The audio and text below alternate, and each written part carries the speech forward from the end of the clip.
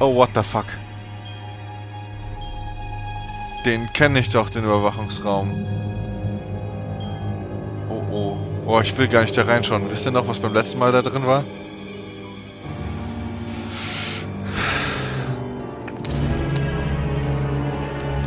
Ach, sie! Huch! Was treibst du denn hier? Bist du etwa tot? Ach, schade. Ich hätte ein wenig Unterhaltung gebrauchen können. Aber der Doktor hat mir verboten, mit anderen Menschen zu reden. Zumindest mit Lebenden. Ich muss dich leider bitten zu gehen. Okay, wie kommt sie denn dahin und warum macht sie die Harvey-Puppen?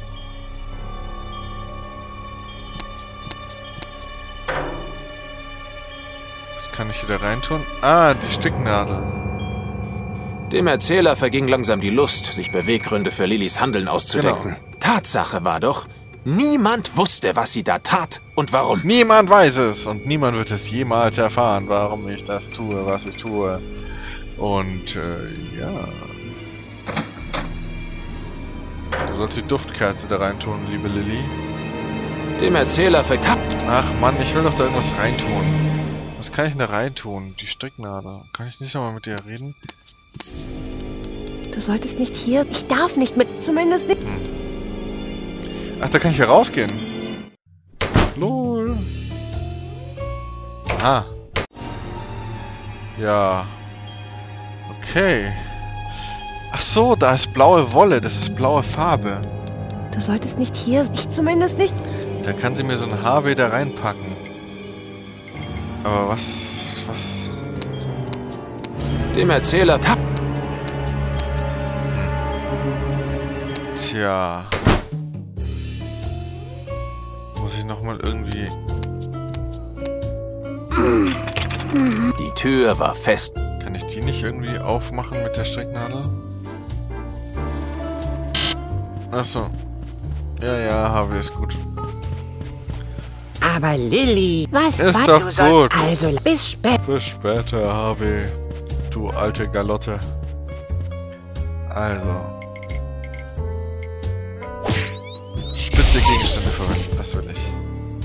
Und jetzt friemeln wir da in dem Loch rum. Lilly Aha. beschloss, das Schloss mit Hilfe der Stricknadeln zu knacken. Und wieder hatte Lilly ihre Unfähigkeit bewiesen. Es war eine Schande. Lilly war einfach nicht geschickt genug. Okay, jetzt steckt aber die Stecknadel drin. Kann ich irgendwie da draufhauen und noch den Staubwirbel dahinterher stecken? Das richtige Werkzeug, was ihr fehlte, war wieder... Lilly hatte das Prinzip von Sch auch wenn es manch... Ja. Und vielleicht die Kerze? Achso. Hallo Lilly, du... Da,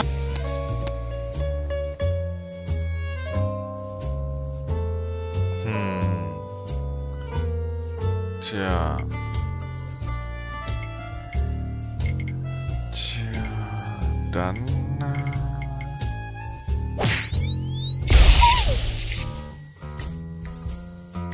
jetzt mal die Kerze da. Ich habe irgendwie, vielleicht bringt das ja alles was. Das richtige Werkzeug, was ihr fehlt. Ist doch auch nicht, Mann. Die Tür war... Das ist doch alles sehr ärgerlich. Lilly hatte das... Okay, kann ich die...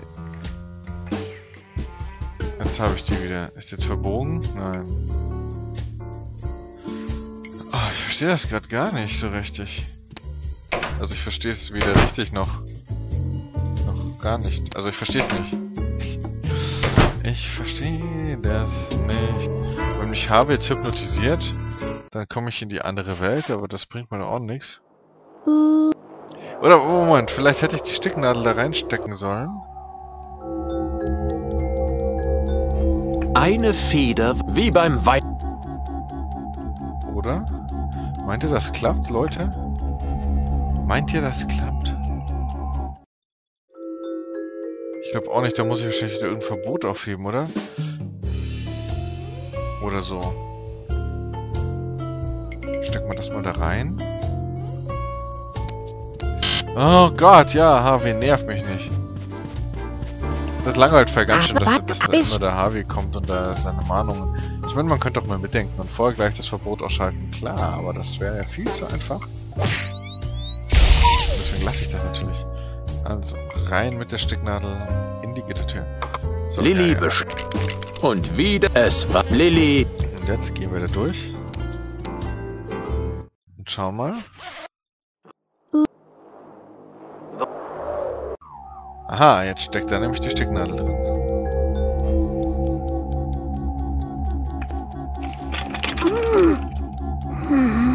Die Tür war...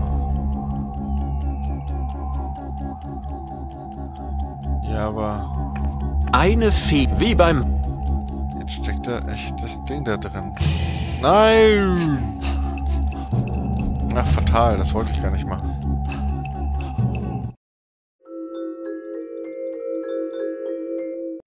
So. Steckt es da in dem Loch?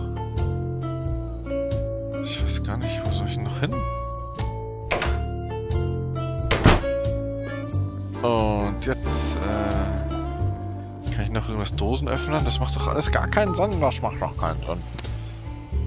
Kann ich hier nicht rausgehen aus dem Heizungskeller? Darunter kann ich auch nicht mehr gehen. Da vielleicht noch mit Herrn Mantel reden? Hallo, Herr Mantel.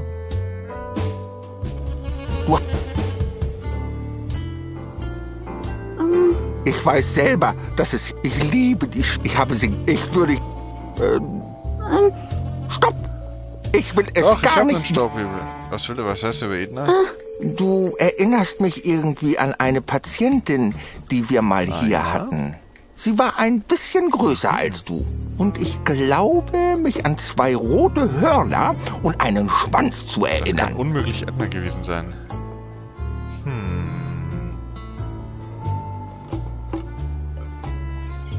Tja. Jetzt geben wir ihm mal den Staub-Dings. Bitteschön, Herr Mantel. Was hast du da? Einen Staubwedel? Äh, nicht, dass ich einen Staubwedel haben wollen würde. Oh nein, egal wie hübsch sie aussehen. Was ja nicht heißt, dass man ihn nicht mal kurz halten könnte. Nur für einen kleinen Augenblick. Das wäre ja vollkommen ungefährlich. Meinst du nicht auch? Jetzt gib ihn schon her! Da hat er ihn. Und da ist er... Oh, da ist er wieder, Mr. Mantel. Was für eine Erleichterung. Und schau mal, ich habe sogar mein altes Ersatzlaken wiedergefunden. Hier, nimm es Danke. ruhig. Du, du hast es dir verdient. So, jetzt habe ich noch einen Laken zum Einfärben. Das ist natürlich super. Weißes Laken, okay. Damit kann ich was anfangen. Jetzt sieht der Mantel wieder ordentlich aus. So wie er eigentlich aussehen soll. Ach, jetzt bin ich da oben. Heißt, es bringt alles nichts da. Oben gucke ich da nur raus aus dem Schacht. Jetzt habe ich ein weißes Tuch.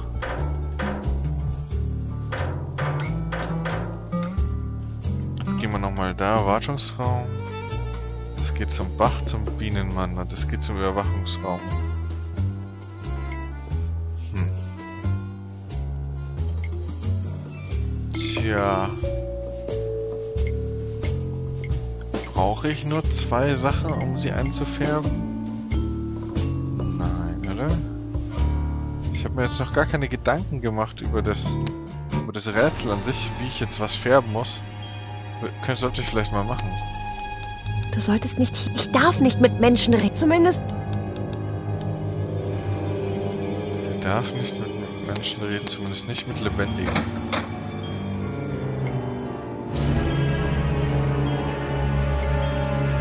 Dem Erzähler für Tatsache. Tja. Jetzt kann ich natürlich hier in dem Waschraum den Laken einfärben. Und jetzt muss ich mir aussuchen, mit was oder was? Das war bereits frisch gewaschen. Das So, war... das frisch gewaschen. Kann ich das irgendwie verdrängen? Ach, jetzt kommt Halt du, wieder. das hat.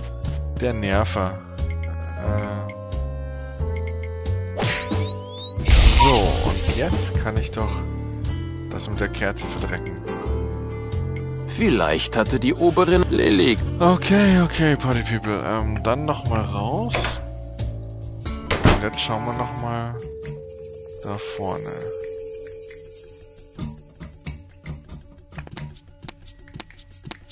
Dann geht's hier nämlich weiter. Zur Rollenspielrunde.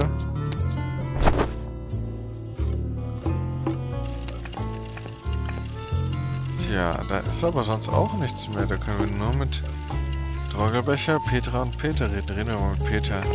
Wie schön. Du bist... Tragelbecher! Schade. Ein baldiger Hungertod wäre eine Wahl. Trete sie vor. Unterrichte sie uns von ihrem Vorankommen. Lilly wollte nicht noch einen Streit provozieren. Zum Glück hatte so. sie sich alles gemerkt. Adrian, Pedro und Ähm, du fragst dich sicher, warum Droggy ein grünes Kissen auf dem Kopf trägt, oder? Ja. Droggelbecher? Einer treu. Sie hat recht. Wie läufst du denn nur rum? Du blamierst mich ja vor meinem neuen Untertan. Droggelbecher? Ja, das ist schon ein wenig absonderlich. Warte, bis du die Erklärung gehört hast. Heute wäre eigentlich das blaue Kissen dran. Droggelbecher?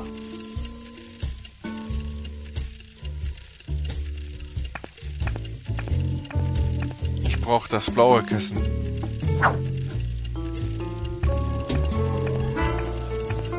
Ich brauche aber auch das blaue Kissen.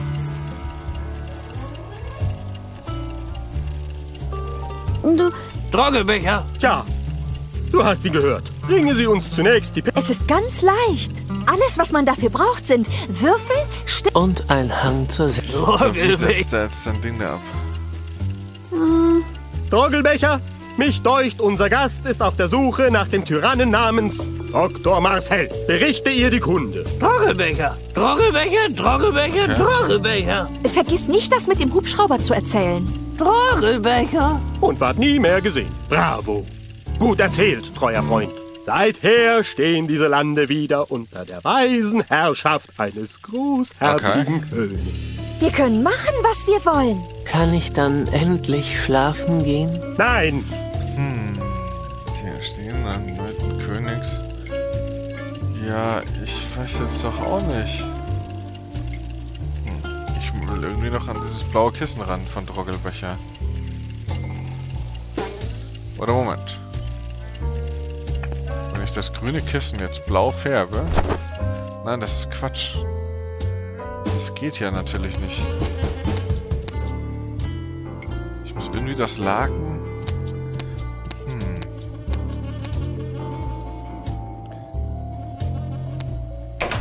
Also wenn ich jetzt hier das Kissen, das muss ich dann da reinschmeißen. Was hast du da? Zeig mal. Ah, sehr gut. Du hast das Prinz benutzt. Okay, also das... Dann brauche ich auf jeden Fall noch das gelbe. Ich brauche so eine Harvey-Figur. Oder wie auch immer. Und vom Bienenmann brauche ich... Ne?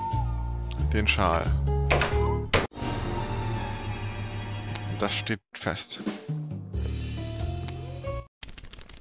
Kann ich ihn irgendwie pieksen? Oder mit dem Wachs oder so?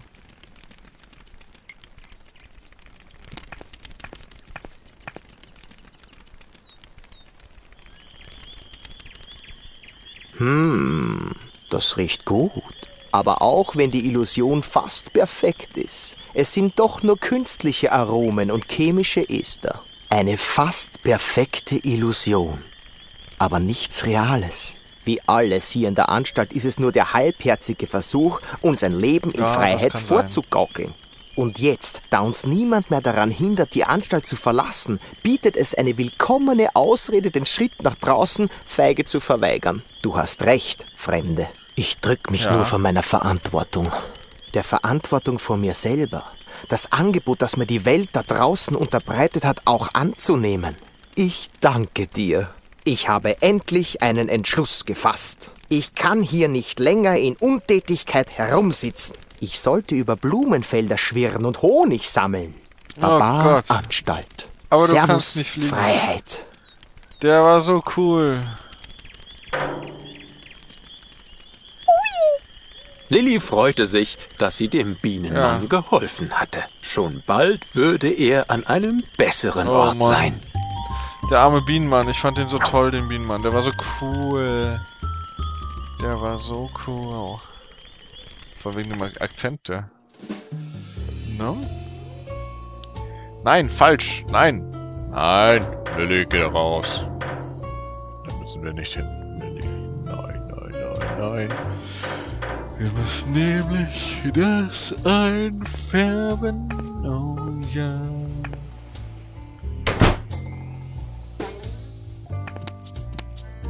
Und zwar färben wir das hier. Und dann schmeißen wir da das gelbe, den gelben Schal vom Bienenmann. Der gute Bienenmann. Was hast du da? Zeig mal. Ah, du hast das benutzt, das... So. Okay, und jetzt brauchen wir nur noch was Blaues, und zwar diese Harvey-Wolle oder irgend sowas. Und das schauen wir uns in der nächsten Folge an. Also bleibt dran und schaltet ein. Tschüss.